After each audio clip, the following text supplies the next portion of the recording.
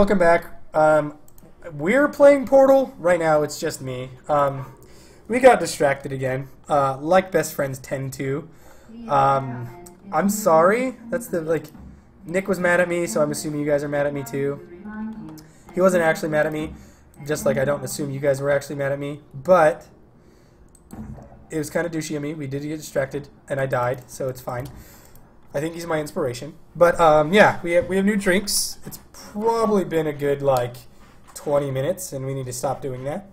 But it's okay. Um, we're still talking about stuff, you know, being friends, that good stuff. Look at this! Yay, puzzles. Um, but yeah, it's there will not be cake, you stupid bitch. She lies to us, guys. I like chocolate cake, and trust me, if there was cake, I'd know. Have to work out because of how much cake I eat. Or how much cake I want to eat, even. Alright, we're going this way. Should have fucking shot the other one. God damn it, I'm really kind of fucking up. Ah! That's the only problem I have with this game, is the... Um, the terrible, terrible, terrible... Um, like when you accidentally shoot portals the wrong way, sort of thing. And then, uh, searching, searching. Fuck you, portal guns. Oh, hold on.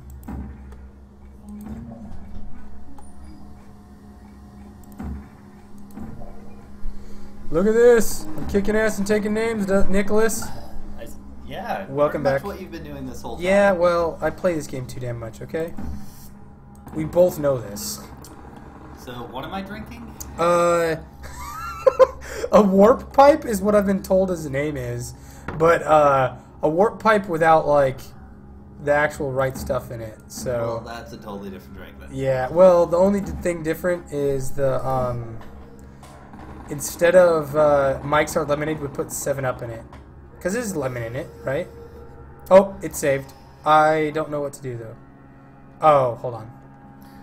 So this Uh, this is dumb. Hold on. Fuck. I am too drunk to remember how to do this. Uh, That makes me sad. you take a minute. Okay. Um, before, we were drinking Crown Royal Apple Mm. and Mountain Dew. Very good. Um, I think an invention of a friend of mine, Ooh, do you know his name? uh, Carlson. Oh, Carl. I love that guy. Yeah. Yeah. I don't want to put him on blast. No, but well, uh, well, hold on. Let's call him. Let's call him Mr. C. Mr. No, C. no. Of Reservoir Dogs, what color of which character do you think you like the best? He's definitely Mr. Pink. Yeah, he is. He totally is Mr. Pink. So Mr. Pink made the invention. Yeah. God, Um, that's so great. oh, that's Yeah, glorious. no, he he tuned me into it. Maybe it wasn't his invention, but we're gonna credit it to him, Mr. Pink. Okay, so hold on. I think this is what we do. Okay. Okay, hold on. We're gonna go here. But yeah, go on. Sorry, sorry, talk. Mr. Pink. Um, yeah, no, he turned me on to Crown Royal and Mountain Dew, which was very good. Tyson, because uh, what necessity is the mother of invention. To get added drunk. A, added a splash of cranberry. Oh, that was really good I too. thought it was really good. I thought it was a good addition. Yeah, thank you. Uh, but we ran out of Crown Royal, Yeah, we did. uh, and so now we're drinking these uh, warp pipes. With like fucked up war pipes too. So. Yeah, I got it. I okay. So what do we? Oh fuck. But yeah, so it's warp pipes instead of mount uh half of a bottle of uh what is it called? Mike's Hard Lemonade. Um, it's what is it? Three fourths of a shot of blue cacao, half a shot of the melon, which we kind of eyed, which was Midori. terrible. No, it's it's not Midori melon originally, It's but melon. it's melon liqueur. Yeah. Oh, okay. Um, so when we went to Safeway, we just found the cheapest melon liqueur and we're like that one's good enough. And uh, uh, yeah, shit. Hold on, what else were we doing? Um, and then I did uh, Seven Up instead because Seven Up was what did I just do? You failed. Oh, I did. Hold on. Hold on, I got it. Fuck it. Oh, god damn it. I, I failed hard. Uh, it saves. The great thing is, after every single one of those things you kill, it saves. And because of me being so good at this game, quotes by the way, because I am not like a speedrunner by any means, but um, I think you could hear the air quotes there. Yeah, I feel like you could. Like, I mean, I'm sarcastic enough to understand how it works, but uh, being uh, being good at this game and then being fast at this game is different. God, what was I trying to say? I got distracted by trying to tell people I'm not an asshole. You, you gotta stop because they're never gonna believe you. Yeah, well, every like every video it gets worse. Really. like there's like Tyson, we know. We know the truth. It's it's okay to it's okay to stop. But um I still fail from time to time. I also haven't played this game in fucking years. So, being a speedrunner by any means is just a bad attempt at. Ooh. Yeah, it's kind of cool. good. Yeah, well, that's that's the game. The game is meant to do that. That's how you're supposed to beat that puzzle. Not die the first time you try it. Oh, Yeah. I thought it was, that was built in. I know. Yeah, totally. You're doing great. Thank you. You know what? You're you're like the best co-host. It makes me feel great when you're not trying to kill me with uh, BattleBlock Theater. Yeah, just leave me out of the game and Yeah. I'll, we're fine. Yeah, that's true. No, I I love killing People my- like your friends, guess I don't know. your I- brother. It started with your brother. Like, and we made that joke. That was a great joke today, and I and I can't believe you both like were like, yeah, that's true. Because I made the joke about uh, Chris being a player one and you being player two, even though you're the older brother, and that's a stereotype. His older brothers are always player one, and just you both were like, yeah, like you were sad, and he was like, yeah, like he was just excited about it. I was like, oh, now I feel bad because I didn't know that your life was so hard being the. like it was just the greatest thing because I didn't expect it, like making the joke, and I was just like, oh damn. So Well, Ah. personally, I quickly learned to prefer like the the anti-hero or the Oh. non um, main character. So like m- when I always think of this, I always think of uh, Final Fight. But it's like Final Fight 3 where you get to select uh, from like three or four different characters. Okay. And the main character is this dude. God, I think I'm mixing up a bunch of different games here. But there's happens always- all the time. There's always like the average built guy, Yeah. and then there's the big guy, Mhm. and then there's the girl. Mhm. Those that's the three archetypes. It's like it's like uh, not just Final Fight, but uh, Streets of Rage, I think. Whereas like Haggar is like the mayor and he's a bug as shit, and there's the average guy and the girl. Yeah, I always played Haggar. Yeah. Like I mean, I like Haggar. I want to cosplay as Haggar. I want to get so like That's- I don't need to get ripped. I just need to be like kind of fat and kind of good looking in that. and then get those green pants. Yeah, and I'll be like, I'll just look like a slightly fat Haggar, Yeah, no, I mean, and I'm okay with that. but I I learned early on to like to want to be Haggar, and so then being player two became a good thing. I like I wanted to be Luigi. I wanted to be Haggar. I wanted to be, and so so now I play a Little World of Warcraft, and I want to be the tank or the healer. I don't like being. You don't like being the DPS. Yeah, Totally understandable. Also, DPS sucks anyway. it. Support. Yeah, I'm, I'm, I love being in League of Legends. I'm support. I'm I'm a, I'm a healer as often as I can, we, which is terrible when we play TF2 together. We should do that. Oh, man, that'd be- cause, that'd be 'cause fun. we're both we're both really bad at the whole like uh, Like, well, really everything. well, but like, oh fuck, sorry, but um, I remember one time we played and I was healer and you were pyro, and then it was just better the other way. Like I was a better pyro, like not even slightly better. I think you were a better healer. You were a better medic than I was a pyro, and that was the, like the main thing. And I was like, and it made me kind of feel like upset because I was like, but but I'm a good healer, and I you're just way better at it. Like you're just better at following my sporadic movements, or or you're like a crazy person. I'm not sure. Uh, I don't.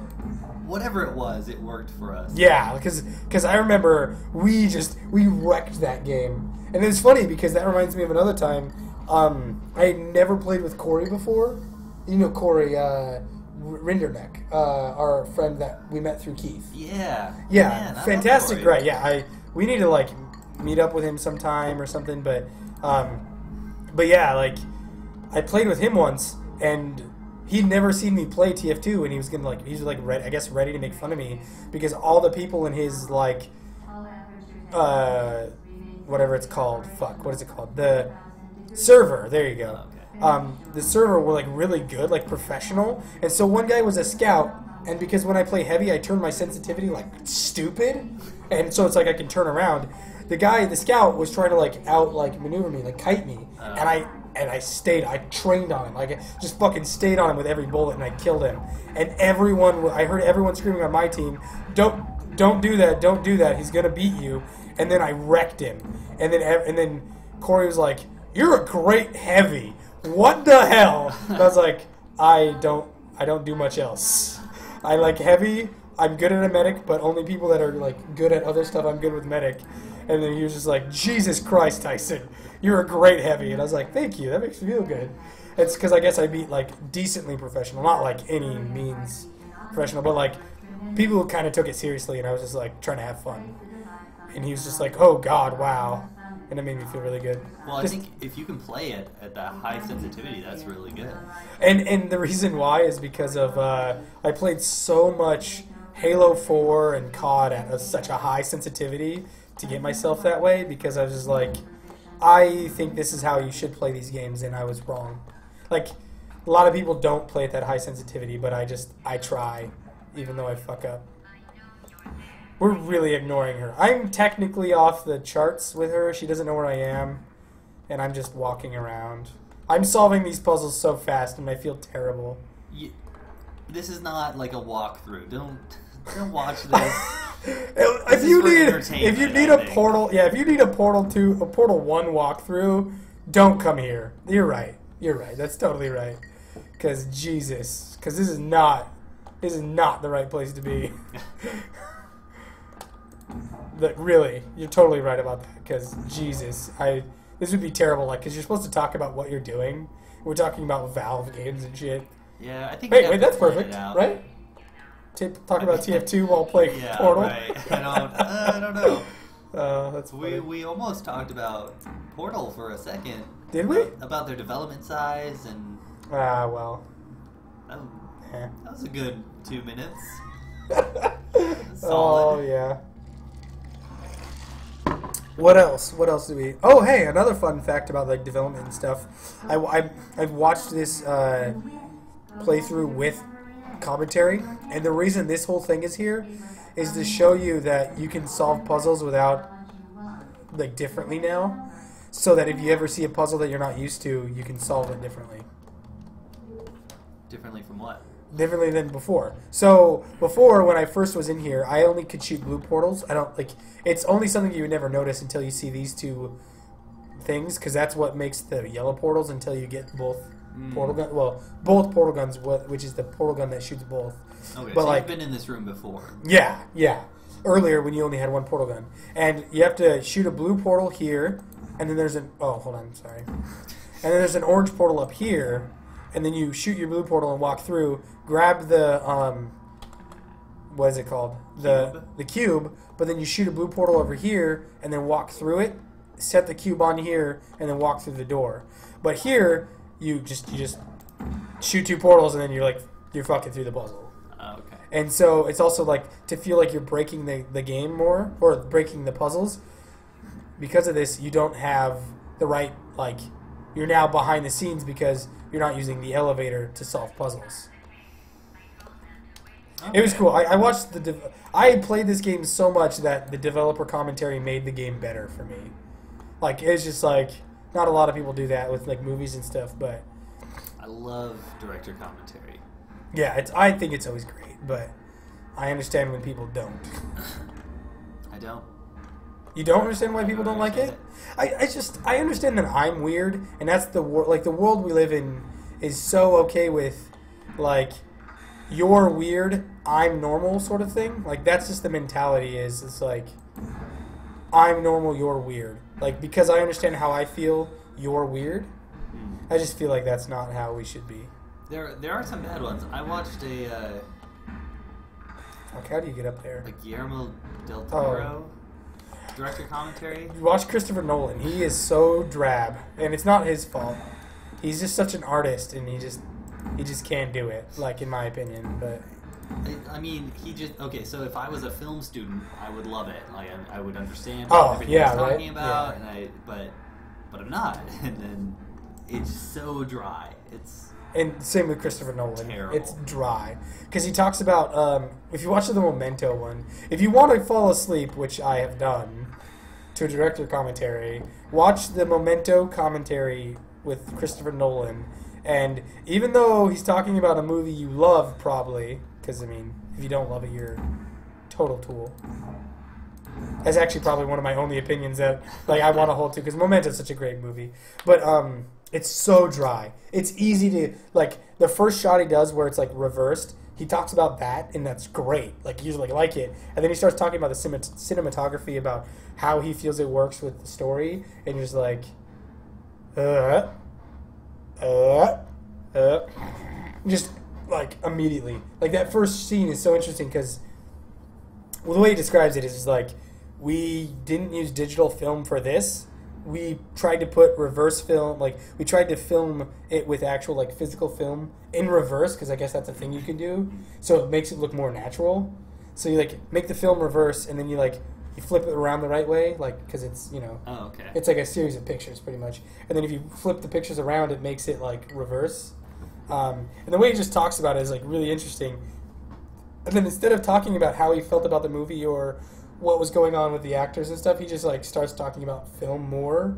And the rest of the movie is just not that interesting about his filming. And you're just like, ugh. when my, every experience I've had watching a director only commentary Mhm. um, has been awful.